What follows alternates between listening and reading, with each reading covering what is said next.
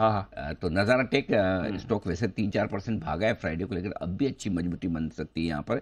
एक हज़ार पैंतीस के स्टॉप लॉस के साथ खरीदें एक हज़ार पैंसठ एक हज़ार पचासी और एक हज़ार पचानवे। इनके फंड रेजिंग प्लान्स में काफ़ी अच्छे इन्वेस्टर्स के नाम आते दिख रहे हैं तो लगता है कि स्टॉक में थोड़ा एक्शन बढ़िया हो सकता है। यहाँ से स्टॉक में खरीदारी का मौका बन सकता है आपके लिए नज़ारा टेक ऑल राइट चलिए। ये है आपके लिए स्टॉक्स पर action stock of the day में। आइए।